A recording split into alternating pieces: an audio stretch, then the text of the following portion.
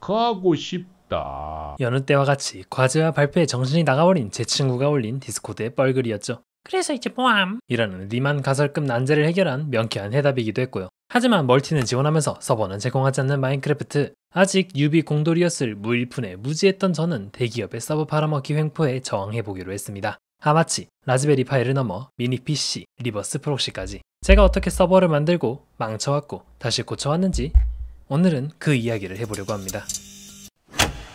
마인크래프트가 기본적으로 지원하는 멀티 방식은 랜 서버.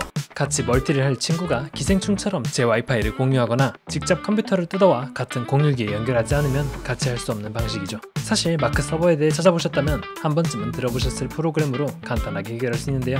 바로 그 유명한 하마치죠. port forwarding 같은 복잡한 보안 설정 대신 방화벽을 완전히 내리는 것으로 당시에는 서버를 구축했었고 지금 돌이켜보면 대체 실시간 감시는 왜 껐는지 이해할 수 없는 행보도 보였었습니다. 뭐 크게 상관은 없었습니다. 어차피 저 포함 5명밖에 안 되는 작은 서버였고 심지어 하마치는 5명까지는 무료였으니까요. 하지만 서버는 24시간 구동을 위해 새벽까지 켜져 있었고 이는 제 좁디 좁은 원룸을 보일러실로 바꾸었으며 본체의 LED 불빛은 마치 작은 클럽에 온 것 마냥 저를 불면증으로 몰아갔습니다. 결국 다음날 제 사랑에 맞지 않는 1교시 수학 강의를 꾸벅꾸벅 졸면서 생각하게 되었죠. 이건 더 좋은 방법이 필요하다. 그러다가 발견한 건 제 찬장에 박혀 있던 라즈베리 파이 작고 귀여운 보드를 병렬 연결하여 슈퍼컴퓨터를 만들었다는 옛 기사가 생각나 정보를 찾기 시작했고 얼마 지나지 않아 라즈베리 파이 4개를 묶어서 마크 서버를 만들었다는 글을 보게 되었습니다. 당시에 저는 큰 영감을 받았고 어, 최대한 가볍게 서버를 굴리면 보드 한 개로 되는 거 아니야? 라는 단순한 생각에서 키워드 검색을 시작해 나갔죠. TCP/IP, 인터넷의 계층, 공유기의 특성, 포트 forwarding. 대다수는 직접적으로 연관이 없는 지식이 대부분이었지만 이는 나중에 문제를 해결할 때 큰 도움이 되었습니다. 그리고 마침내 버킷이라는 dedicated 서버 구동기의 존재를 알게 되고 공중제비를 돌며 친구들에게 자랑스럽게 보여주며 서버를 구동시켜봤는데 결과는 처참히 실패. 아직은 우물 안 개구리였던 제 지식은 서버의 서자도 이해하지 못했고 심지어 서버와 같은 방 안에 있는 저조차도 서버에 접속할 수 없었죠. 하지만 서버가 켜지기를 바라는 친구들의 초롱초롱한 눈망울은 저를 포기할 수 없게 만들었고 문제를 하나씩 해결해 나가기 시작합니다.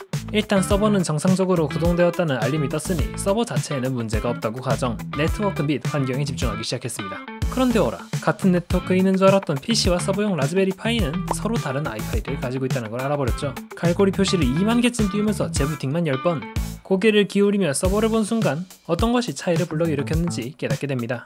아니 얘는 공유기에 물려있고 PC는 벽에 랜선으로 붙어있네? 바로 검증 들어가 봐야죠. PC를 공유기 연결해 서버와 직결을 시키니 접속이 되답니다. 그것도 전혀 문제없이 깔끔하게요. 그렇게 벽 랜과 공유기의 차이에 대해 알아보게 되었고 일반적인 아파트와 다르게 원룸의 벽 랜은 상위 공유기가 붙어 있을 수 있다는 정보를 얻게 됩니다. 외부에서 접속을 못하는 게 당연하죠. 아무리 제 집에서 현관문을 열어봤자 공동 현관문을 열지 않는다면 친구는 제 집에 놀러 올 수 없을 테니까요. 그런데 잠깐 이상한 점이 하나 있죠. 그럼 이전에 접속을 어떻게 한 거지? 여기서 라즈베리와 이전 PC 서버의 차이점이 하나 있습니다. 바로 하마치죠. 새로운 네트워크로 친구와 저를 연결해주는 비밀 통로가 있으니 굳이 공동 현관문을 통하지 않더라도 창문을 통해 자유롭게 드나들 수 있었던 거죠. 자, 그럼 문제도 알았고 해결책도 알았습니다. 남은 건 라즈베리 파이에서도 돌아가는 가볍고 리눅스 기반의 무료인 하마치만 찾으면 되는 겁니다. 그리고 그 프로그램은 머지않아 발견되었죠.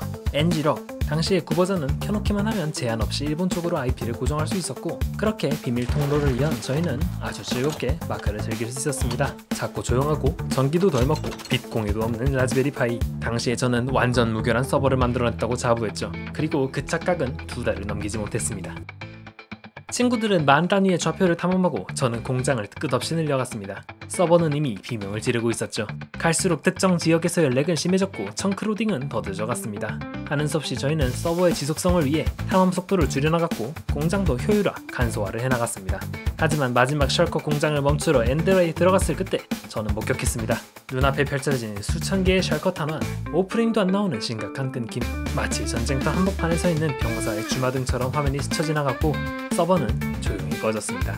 다급하게 라즈베리 파이에 전원을 내렸지만 이미 피어오른 희미한 연기는 서버의 마지막 숨결을 의미하듯 덧없이 퍼졌고 서버는 다시는 켜지지 않았습니다. 남은 건 추억이 남긴 작은 SD카드 하나뿐이었죠.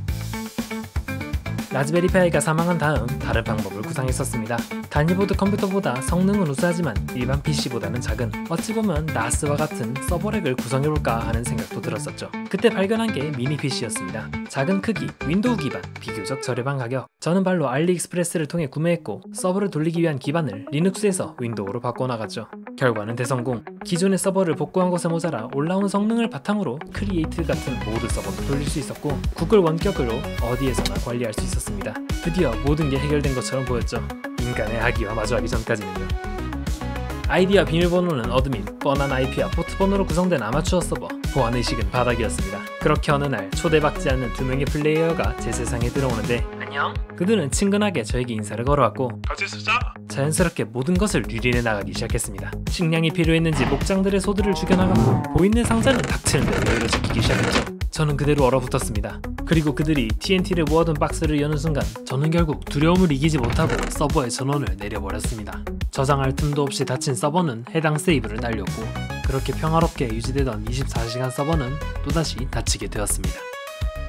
뭐가 되었던 보안이 최우선이었습니다. 일정 주기마다 IP를 바꾸는 것도 비밀번호를 요구하는 것도 각각 프로그램의 한계에 부딪혔죠. 끝없이 몰려오는 봇들의 물결 속에서 저는 서버에 도움을 요청했고 서버는 그 해답을 저에게 주었습니다. 화이트리스트 이는 미리 등록된 사람만 서버에 들어올 수 있게 해주는 기능이었고 그렇게 친구들의 UID 같은 정보를 입력하고 설정을 켜주니 그 많던 봇들을 전부 걸러낼 수 있게 되었습니다.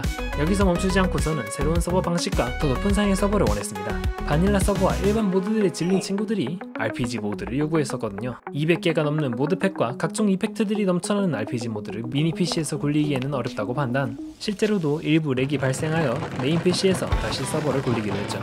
하지만 이런 평 랜으로 돌아오려니 기존에 사용하던 ngrok은 유료로 전환되었고 하마치를 쓰기에는 너무 규모가 커졌더군요. 그냥 하마치 같은 걸 한번 만들어봐. 바로 새로운 서버 방식을 찾아냅니다. 이름은 FRP 서버. 기존의 미니 PC는 외부 네트워크에 노출되어 있으니 이를 중계 지점으로 세우고 이를 통해서 메인 PC로 접속할 수 있는 내부 방을 짜게 됩니다. 이로써 보안과 성능을 모두 잡은 궁극의 서버가 만들어졌고 지금도 잘 기동되고 있습니다. 오늘은 이렇게 제가 2년간 서버를 운영해오며 일어난 문제들과 이를 해결해나가는 과정을 한번 담아보았습니다. 물론 아직 보안 면에서나 성능 면에서나 부족한 부분은 많지만 현재까지는 렉도 없고 불편함도 크지 않아 한동안은 이렇게 운영할까 싶더군요. 다음 영상은 모처럼 서버가 있으니 하나쯤 만들고 싶은 걸 한번 만들어 볼까 합니다. 최고의 홈비서 기가진 아니 기가체들의 말이죠. 실리였습니다.